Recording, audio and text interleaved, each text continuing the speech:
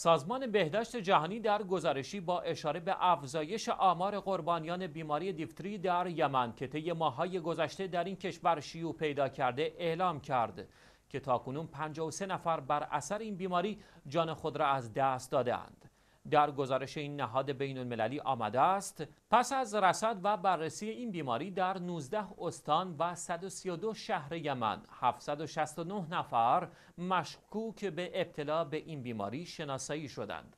سازمان بهداشت جهانی اعلام کرد که استان اب در مرکز یمن و حدیده در غرب این کشور بیشترین شیوع بیماری دیفتری را داشتند.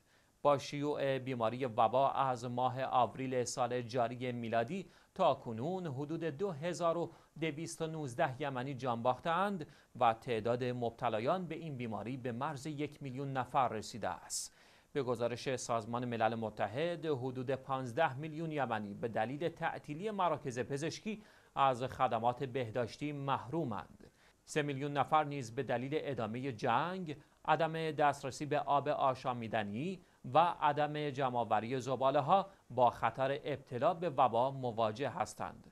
شاین ذکر است دیفتری بیماری حاد باکتریایی دستگاه تنفسی است این بیماری عفونی بسیار واگیردار است و باعث ایجاد غشایی کاذب در حلق و حنجره می شود از عوارض آن گلودرد، تب، سرفه و گرفتگی صداست و در صورت وخامت ناراحتی های قلبی کلیوی و فلج دست و پا را موجب می شود. عامل دیفتری یک باکتری به نام Corynebacterium diphtheriae است که عموما گلو را مبتلا می کند. علائم مربوط به مشکلات تنفسی در دیفتری بعد از دو الی شش روز بروز می کند و در این مدت به صورت نهفته است.